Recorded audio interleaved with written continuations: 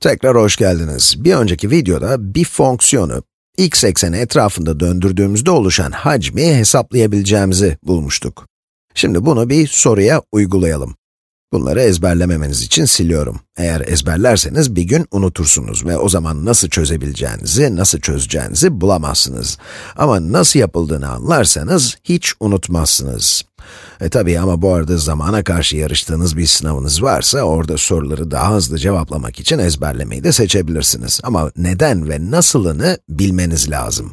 Evet, bu kadar felsefeden sonra şimdi eksenleri tekrar çizeyim. İlk örneğimiz y eşittir karekök x'ti. Şimdi aynı fonksiyonla devam edelim. Bu arada bu fonksiyon, eksen etrafında döndürülen fonksiyonlara çok tipik bir örnektir. Şimdi grafiğini çizelim. Y eşittir karekök x. Bu x ekseni, bu y ekseni. Yine şimdi x ekseni etrafında döndürelim. Böyle yanlamasına duran fincana benzer bir cisim elde ettim. Diyelim ki bu fincanın 0 ile basit tutalım, 1 arasındaki hacmini bulmak istiyoruz. Yani şöyle bir fincanımız var, şuna benziyor. Burası da fincanın ağzı. Ağzını da şuraya çizelim. Evet, videoları hazırlarken biraz plansız ve programsız olduğumu fark etmişsinizdir. İşte şöyle, burası fincanın ağzı, şahane. Şöyle döndürüyoruz, şimdi fonksiyonu çeviriyoruz. Fincan da şöyle görünecek, alt kısmı böyle olacak. Bu bir cisim ve hacmini bulmak istiyoruz bu cismin. İleride yüzey alanını bulmayı da göstereceğim ki bence yüzey alanı çok daha ilginç ama şimdi hacmi bulalım. Hacmi nasıl buluyorduk? Yöntemi tekrardan bulalım ama bu sefer böyle spesifik bir fonksiyon kullanacağız. Bir diskin hacmini bulup tüm diskleri toplamalıyız. Mesela şu son noktadaki diski alalım. Bu diskin yarıçapı nedir? Diskin yarıçapı f'nin bu x'teki y değeridir fx karekök x olduğu için yarıçap karekök x'e eşit. Diskin alanı pi r kareye eşit. Yarıçap karekök x olduğu için alan eşittir pi çarpı karekök x kare. Yani her diskin alanı eşittir pi çarpı x. Hacmi bulmak istiyorsak alanı diskin derinliğiyle çarpacağız. Bunu şimdi 1 liralık bozuk para olarak düşünün. Bu da bu paranın kenarı. Bir önceki videoda derinliğin sonsuz incelikte olmasını istemiştik. O yüzden derinliği çok küçük bir x farkı olarak düşünmüştük. Çok küçük bir x farkı. Buna göre her noktadaki derinliğe dx diyoruz, dx.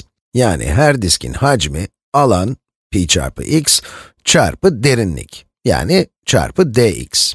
Her diskin hacmini böyle buluyoruz. Hacmin tamamını bunların toplamına eşitliyoruz. Bu çizdiğim bir tane diskti ama şurada bir tane daha var, buralarda da birer tane var. Bunlardan sonsuz adet olacak. Ve çok çok çok çok çok ince olacaklar ki hacmi tam olarak bulabilelim. Aksi takdirde yalnızca yaklaşık bir değer elde ederiz. Tam değerini bulmak için integral kullanıyoruz. Dolayısıyla sıfırdan 1'e integral alacağız. Kullandığımız disk sadece bir örnekti. Sondaki disk olduğu için yarıçapı karekök 1 yani 1'dir. O zaman neyin integralini alıyorum? Sıfırdan 1'e giden bir integral. Pi x dx olarak tanımladığımız diskleri toplayacağız. O zaman pi x dx'in sıfırdan 1'e integrali. Gayet kolay bir integrale benziyor. Peki, bunun integrali nedir? pi sabit ve x'in ters türevi x kare bölü 2. Şimdi pi çarpı x kare bölü 2 çıktı. Bu şunun ters türevi. Şimdi 1 ve 0'daki değerlerini bulup, 1'deki değerden 0'daki değeri çıkaracağız. Hemen cevabı bulalım. 1 bölü 2 pi eksi 0 pi. Yani 1 bölü 2 pi eksi 0 pi cevap 1 bölü 2 pi. Bu fincanın 0'dan 1'e hacmini bulduk. Şimdi bir başka örnekle pekiştirmek istersek bu örneğimizi, şimdi bir kürenin hacmini bulmaya çalışalım. Kürenin denklemini düşünelim. Çemberin denklemi neydi? x kare artı y kare eşittir r kare. y'yi şimdi tek başına bırakalım ve böylece öğrendiğimiz yöntemi uygulamaya hazırlık olsun. O zaman y kare eşittir r kare eksi x kare.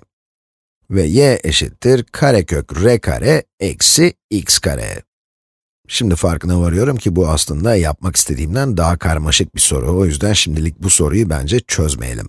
Ama bir sonraki videoda bu videodakinden biraz daha zor bir örnek yapacağız. Neyse bir sonraki videoda görüşmek üzere.